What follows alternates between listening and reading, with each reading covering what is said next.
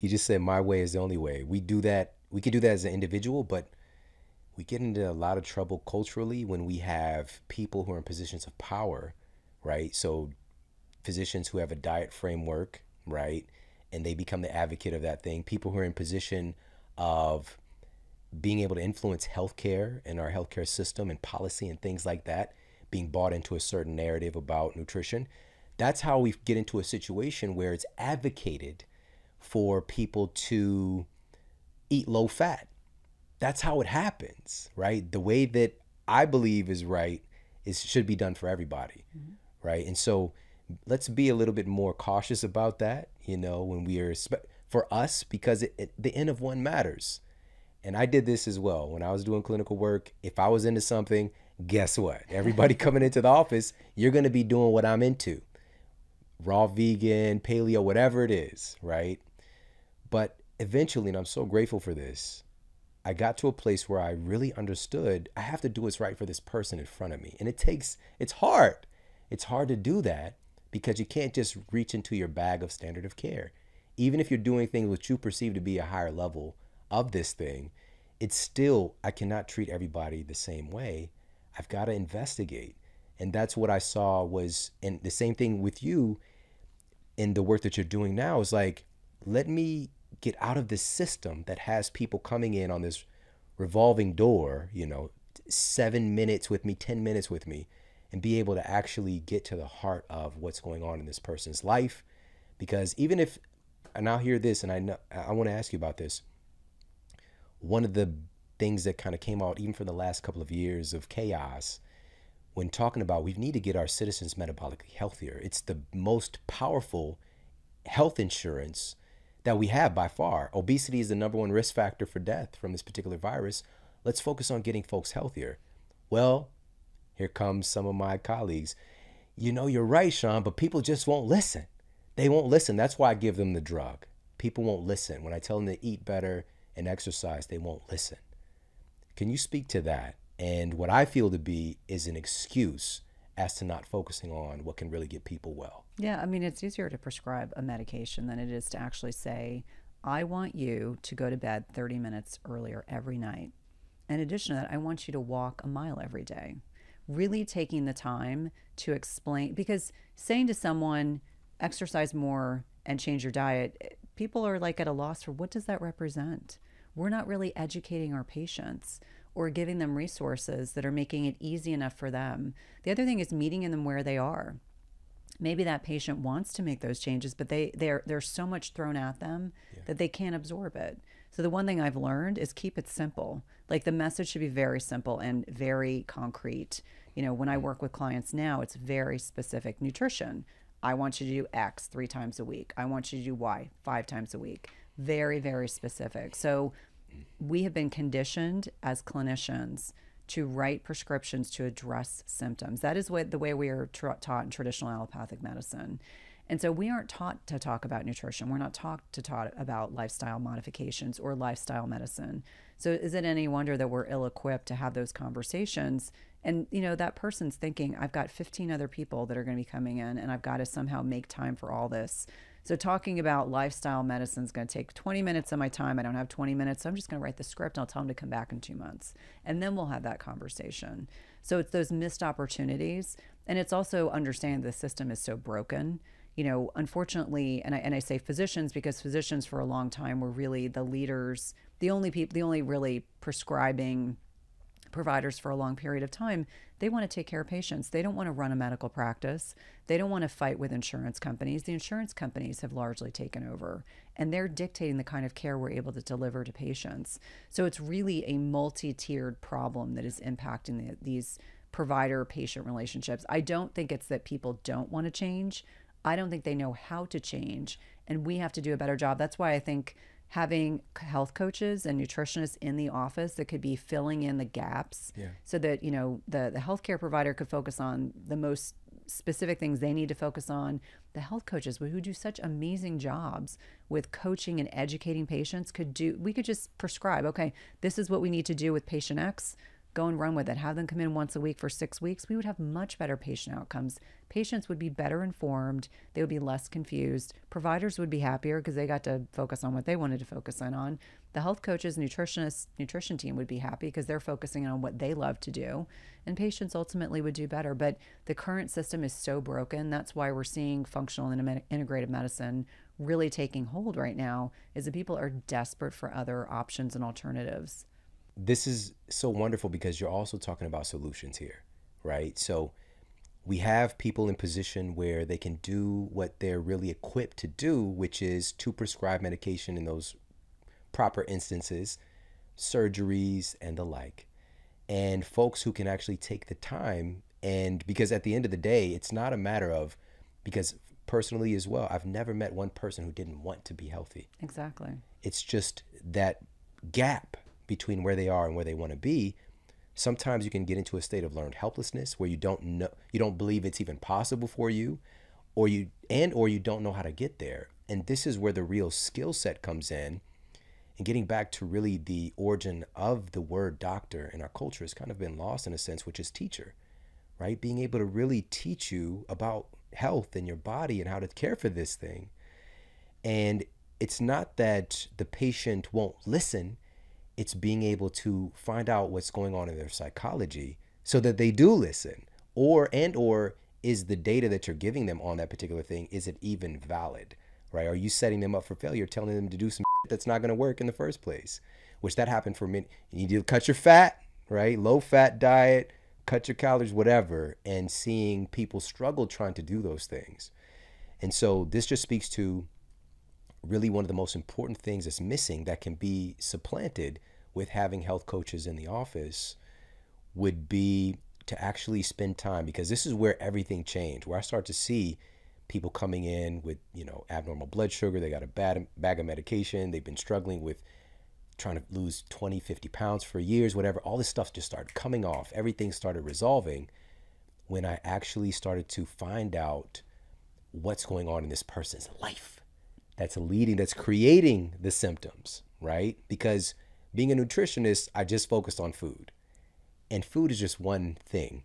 Food, it can be, uh, it can be a medicate, a self-medication for some folks. It can be the thing that they're kind of stumbling. It could be a booby trap for them, but it's just one piece. It, it is likely, even if the self-medication, the struggle with their work, yeah. right, or their relationship, or their kids or like really taking time to see another person so often that's what's missing from their life just being seen just having the opportunity for somebody to listen to you.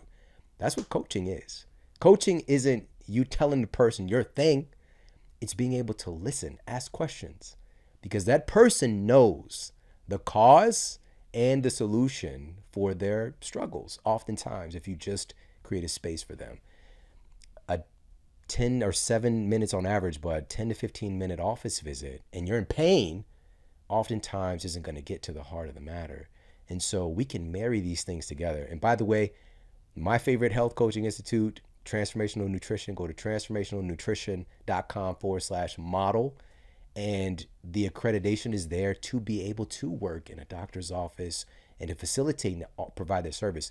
I know this is where things are going because the industry has just exploded in the last five to eight years and it's only getting bigger.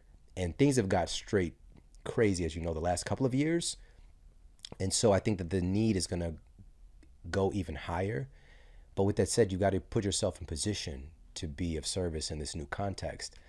So, all of that to say, you know, when we're coming into this situation and we have these tools at our disposal, you understanding more about nutrition and helping people to implement and with their lifestyle, how important is it for people to experiment themselves? Because I would imagine, even if you're giving them this thing to do, like, you know, to follow your incredible plan, everything might not go according to plan. So, how can people tune into themselves to start to be able to refine things for themselves?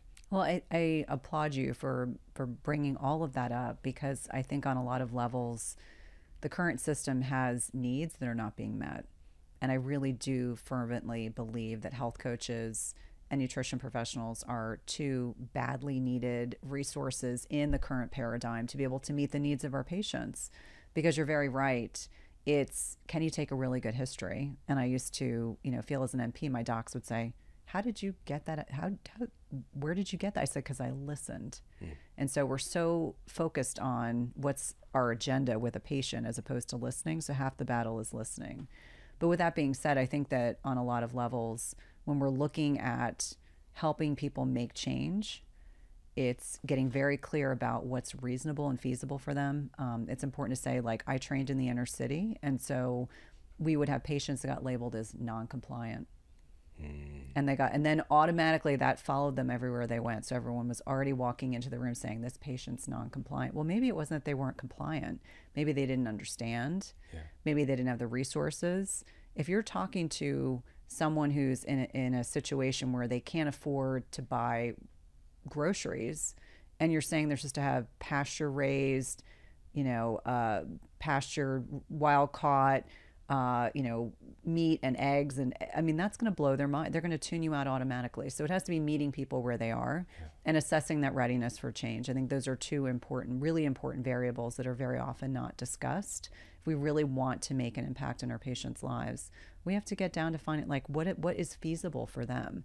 Not making it our agenda. That's the other thing that i see a lot of clinicians doing. They want patients to do what they're telling them to do instead of finding out what's reasonable and feasible for that patient to do. Yeah. So i love that. Directing people towards also within themselves their own what's feasible for you.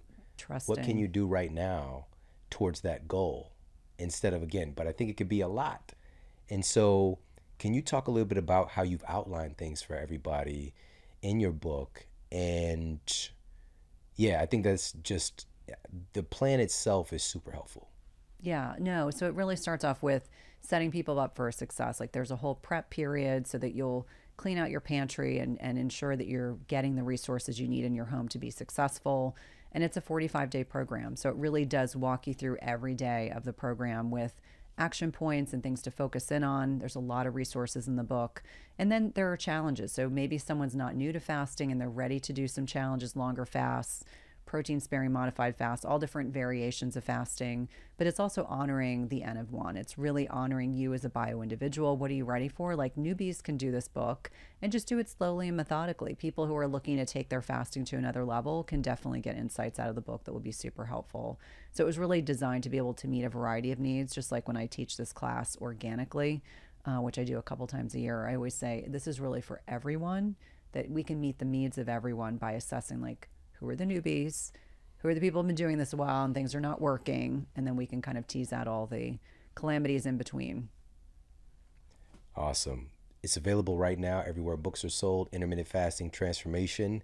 Can you let everybody know where they can follow you, get more information, and if there's a best place for them to pick up the book? Yeah, thank you. Well, I always say, you know, the the brick and mortar businesses have really taken a hit over the past two years. So if you're able to buy this from a brick and mortar place, but yes, you can get on Amazon, Target, Barnes and Noble. Um, easiest place to connect with me is my website. So it's my name, www.cynthiathurlow.com. I have a podcast that you'll be a guest on this fall. I'm super excited about that, Everyday Wellness. And then I co host the Intermittent Fasting podcast with Melanie Avalon. Um, and then I'm on Instagram at Cynthia underscore Thurlow underscore admittedly, I'm a little snarky on Twitter. I have to forewarn everyone. And we also have a free Facebook group called um, Intermittent Fasting Transformation backslash my name, and everyone's welcome in that group. It's just a super supportive, nice group of men and women that are in there. So awesome. Listen, I love what you're doing. I love what you stand for. Your story is incredible. And, you know, this is such a great opportunity right now to equip people with real tools of transformation. You know, you, your, the title of your book, Intermittent Fasting Transformation, and being able to take control of their own health and to be empowered and to utilize our healthcare professionals as coaches, as guidance, as support, but starting to be your own advocate first and foremost. You know, so we can come into the situation more educated. And also, what I learned from this conversation personally is the importance of being healthy coming into life's inevitable challenges because something's going to happen life be life and so everybody needs to stay ready so that you don't have to get ready and i appreciate you so much for coming to hang out with me fun fact It's your anniversary today. It is. It is 19 years. It's hard to believe. It's like I, if you marry the right person, it's worth it. You know, that effort every day you make.